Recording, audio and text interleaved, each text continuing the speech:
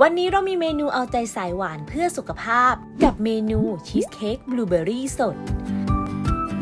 สูตรนี้มีแคลอรี่จากมิตรผล Lite Sugar อยู่ประมาณ 112.5 แคลอรี่ ต่อชีสเค้กบลูเบอร์รี่สดทั้งสูตร โดยทั่วไปหากเราปรุงด้วยน้ำตาลปกติ จะมีแคลอรี่จากน้ำตาลอยู่ที่ 375 แคลอรี่เพียงแค่ปรุงด้วยมิตรผล Lite Sugar แคลอรี่จากน้ำตาลก็ลดลงไปถึง 70%เเรามาเริ่มทำฐานบิสกิตกันก่อนค่ะ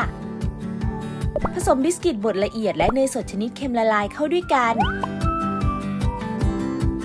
กรุส่วนผสมลงในพิมพ์ที่เตรียมไว้ นำเข้าแช่เย็นจนส่วนผสมทรงตัวดี เตรียมไว้ค่ะ วิธีทำครีมชีสละลายเจลาตินชนิดผงกับน้ำร้อนเข้าด้วยกัน เตรียมไว้ ใส่ครีมชีสลงในภาชนะ ตามด้วยโยเกิร์ตรสธรรมชาติ ตีส่วนผสมให้เข้ากัน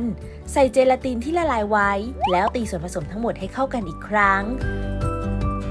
ตักส่วนผสมที่ได้ใส่ในพิมพ์ที่เตรียมไว้นำเข้าแช่เย็นจนทรงตัวดี วิธีทำซอสบลูเบอรี่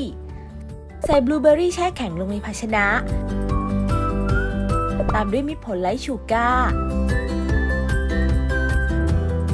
ขึ้นตั้งไฟโดยใช้ไฟอ่อน เคี่ยวจนส่วนผสมข้นขึ้น ใส่แป้งข้าวโพดละลายน้ำ คนจนกระทั่งเดือดทั่วแล้วปิดไฟ